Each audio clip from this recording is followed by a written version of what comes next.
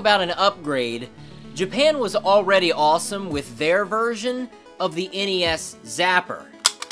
But then Bandai came along with the Hyper Shot.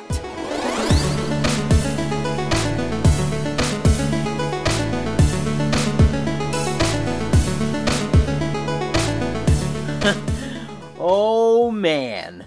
This thing is hefty. Much like the Famicom beam gun, there's no way this would have made it outside Japan.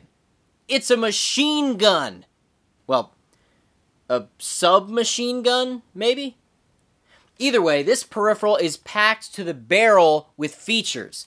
Aside from its sleek aesthetics and light gun shooting power, it's got a near complete set of controller inputs. The Hypershot has a start and select toggle on the side of the gun, and a button on the front handle that acts as the B button in games. It also has a small control on the inside of the handle for movement. And believe it or not, this is an amazingly tight directional pad. When I first saw the thing, I figured it was going to be some squishy mess and super unresponsive, kind of like an Atari 2600 joystick. Oh, I hate that thing. But no, no, I was pleasantly surprised, and I even tried it with other games, and it offers nothing but smooth movement control. It might be a better D-pad than the standard NES controllers. I, whoa? Oh? Oh? yeah, it's surprising. It's too bad, though, that I still can't jump over anything. See, I was hoping that the trigger would act as the A button, but it doesn't seem like there's any true input for the A button. Otherwise, we could play almost any game with a machine gun. oh, that's that is sad. I guess we'll just have to turn to the pack-in game, Space Shadow. Space Shadow was the only game released to take full advantage of the Hypershot's other features. Now sure, you can play Duck Hunt and Wild Gunman with this thing, but it just acts like a typical light gun.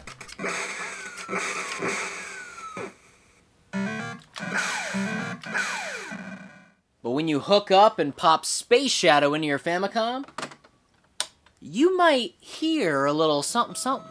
Hmm. Space Shadow sends the audio back through the cord to a speaker built into the gun. This definitely pumps up the intensity. Yeah, surround sound. Surround sound. So I hope you're ready. Push start or shot. Wait. Shoot, right? I, I think they meant shoot. In this sci-fi horror shooting game, you're stuck on a spaceship with aliens. Much like Aliens, the movie. But just wait.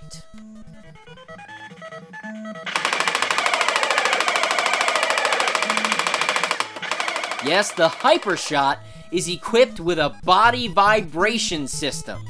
Simply insert four C batteries into the rear of the gun, and you've got force feedback action. This is what makes the Hypershot even more impressive. And what a waste that the recoil only seems to work with Space Shadow. Oh well. Let's shoot some aliens.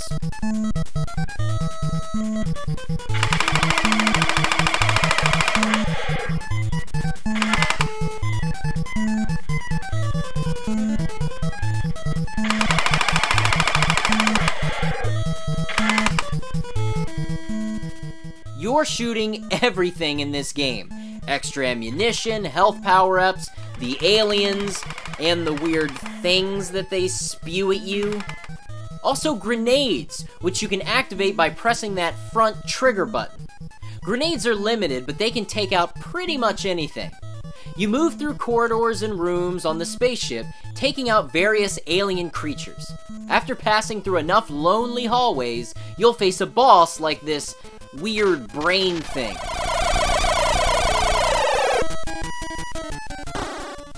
And then it's back to the corridors. If you run out of health, time, or ammo, it's game over. No extra lives, no continues. That's pretty much all there is to the game. The Hypershot machine gun is what keeps you going through the exhausting five levels of Space Shadow.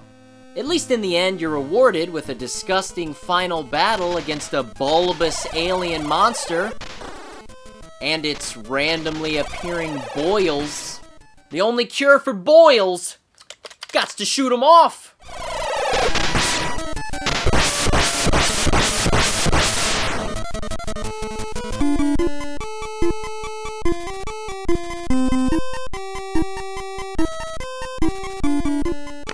Hypershot machine gun by Bandai is a unique piece of Famicom history from 1989. I imagine it could have been a hit outside of Japan.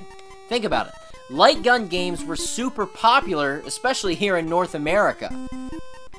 Just think what kind of games this gun could have inspired that used all of the features, including that awesome recoil. Unfortunately, the only game that works with it is Space Shadow. Hmm.